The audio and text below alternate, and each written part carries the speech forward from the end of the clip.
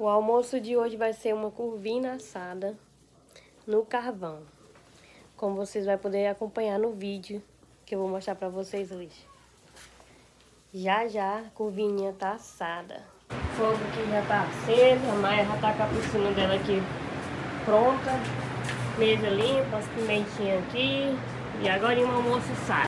Pessoal, que já coloquei, a bicha é gorda, viu? Muita gorda mesmo. Curvina grande. Botei esses temperos aqui, só cebola, né? Que o menino não gosta de muito tempero dentro. Já vou fazer um vinagrete.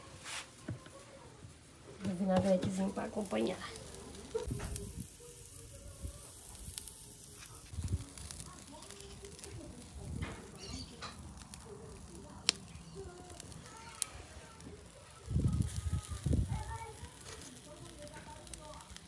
Aqui um pouco de vinagrete, já tá quase pronto.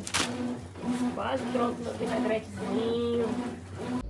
Realmente é pedra mesmo, pedra mesmo assim. Mas não sei o que, que é isso aqui, ó. Porque alguém sabe porque a curvina tem essas duas pedrinhas na cabeça. Tem vezes que tem três, essa aqui é porque é grande, a peixe era grande. Aí ficou só duas, ó. Não sei o que que é.